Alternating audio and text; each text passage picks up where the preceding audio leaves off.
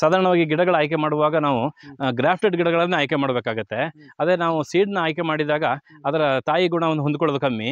ಅದೇ ಗ್ರಾಫ್ಟ್ ಮಾಡಿದಾಗ ತಾಯಿ ಗುಣಗಳನ್ನು ಹೊಂದ್ಕೊಳ್ತೆ ಫ್ರೂಟ್ನ ಸೈಜು ಆಗಲಿ ಅಥವಾ ಕ್ವಾಲಿಟಿ ಒಂದೇ ಇರುತ್ತೆ.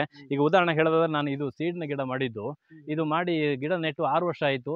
ಈಗ ಫಸ್ಟ್ ಫ್ಲವರಿಂಗ್ ಆಗ್ತಾ ಇದೆ.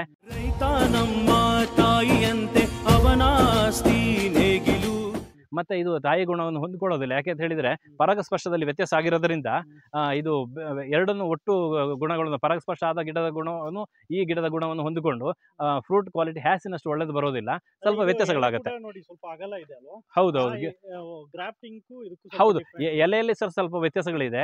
ನಮ್ಮ ಗ್ರಾಫ್ಟ್ ಗಿಡದ ಎಲೆಗಳು ಇನ್ನೂ ಚೂಪಾಗಿರುತ್ತೆ. ಇದು ಸ್ವಲ್ಪ ಅಷ್ಟು ವೃತ್ತಾಕಾರವಾಗಿ ಕಾಣ್ತಾ ಇದೆ. ಹಾಗೆ ಹಣ್ಣಿನ ಕ್ವಾಲಿಟಿ ಸ್ವಲ್ಪ ವ್ಯತ್ಯಾಸ ಇದೆ.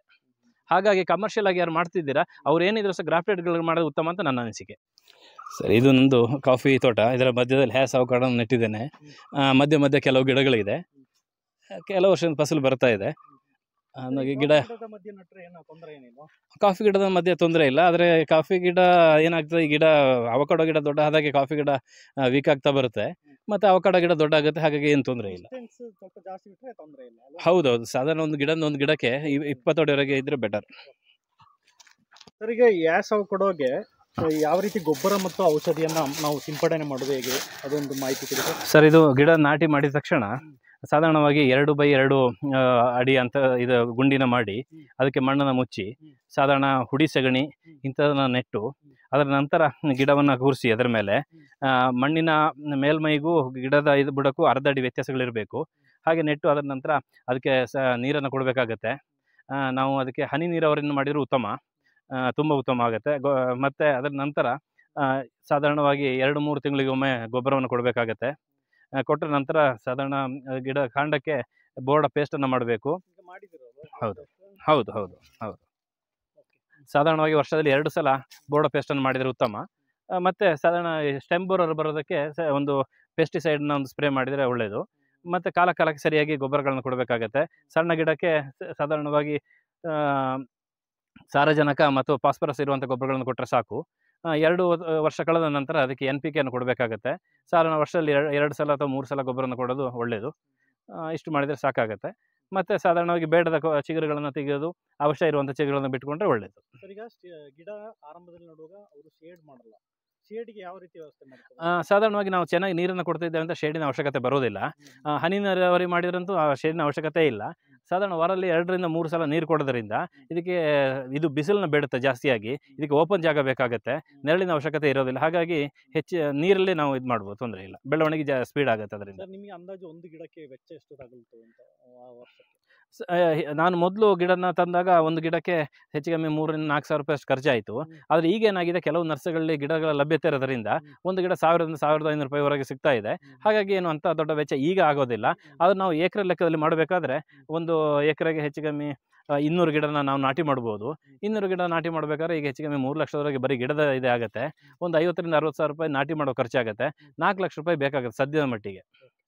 ಸರ್ ಯಾಸ್ ಅವಕಾಡೊ ಫಾರ್ಮಿಂಗ್ ಮಾಡೋತ್ತಿಗೆ ನೀವು ಅನುಭವಿಸಿದ ಸವಾಲುಗಳು ಮತ್ತು ಸಮಸ್ಯೆಗಳು ಮತ್ತೆ ಹೇಗೆ ಅದರದ್ದು ಇದು ಸವಾಲುಗಳನ್ನ ಹೇಗೆ ಅನುಭವಿಸಿ? ಅಲ್ಲ ನಾನು ಮಾಡುವ ಸಮಯದಲ್ಲಿ ಆರು ವರ್ಷಗಳ ಹಿಂದೆ ಹ್ಯಾಸ ಅವಕಾಡ್ ಅಂತ ಹೇಳೋದು ನಮಗೆ ಎಲ್ಲೂ ಸಹ ಗಿಡ ನಮಗೆ ನೋಡಕ್ ಸಿಗ್ತಾ ಇತ್ತಿಲ್ಲ ನಮ್ಮ ದೇಶಗಳಲ್ಲಿ ಎಲ್ಲೂ ಸಿಗ್ತೈತಿಲ್ಲ.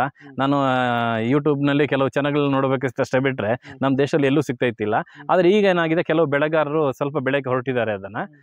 ನನಗೆ ಹಾಗಾಗಿ ಗಿಡ ಸಿಗಲಿಲ್ಲ ಗಿಡ ತರಬೇಕಿತ್ತು ತಂದು ನೆಡಬೇಕಿತ್ತು ಹೆಚ್ಚಿಗೆ ನೆಡಬೇಕು ಅಂತ ಆಸೆ ಇತ್ತು ಅದನ್ನು ನೆಡಕ್ಕೆ ಸಾಧ್ಯ ಆಗಲಿಲ್ಲ. ಕೆಲವು ಗಿಡಗಳನ್ನ ಮಾತ್ರ ನೆಟ್ಟೆ. ಅಲ್ಲಿಂದ ಏನಾಯಿತು ಹ್ಯಾಸ್ ಅವಕಾಡ ಅವಕಾಡು ಹ್ಯಾಸ್ ಅಂತಲ್ಲ ಅವಕಾಡಗಳಲ್ಲಿ ತುಂಬ ತಾಪತ್ರಗಳಿದೆ ಅದನ್ನ ಬೆಳೆದು ಸ್ವಲ್ಪ ಕಷ್ಟನೇ. ಯಾಕೆಂತ ಹೇಳಿದರೆ ಅದಕ್ಕೆ ಫಂಗಸ್ ಪ್ರಾಬ್ಲಮ್ ಇದೆ ಮತ್ತು ಶೂ ಶಾರ್ಟ್ ಬೋರರ್ ಬರ್ತದೆ.